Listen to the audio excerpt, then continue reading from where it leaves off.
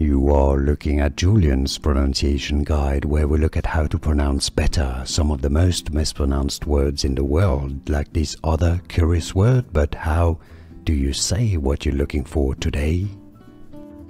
We are looking at how to pronounce these names and we'll be looking at how to say more confusing names that too many people mispronounce. Stay tuned to the channel. Amina is how it's generally said with a stress on that second syllable, but some people I think pronounce it also as Amina. So if you know an Amina or Amina, let us know how they pronounce it or how you pronounce it if you're an Amina or Amina, so we all know what we're talking about. Amina, I think, is the most common pronunciation. More videos for you here to learn more correct pronunciation. See you there. Thanks for watching. Here are more videos on how to pronounce more confusing words and names too many mispronounced. Like this video if you found it useful, I appreciate your support. I'll see you soon and thanks for watching.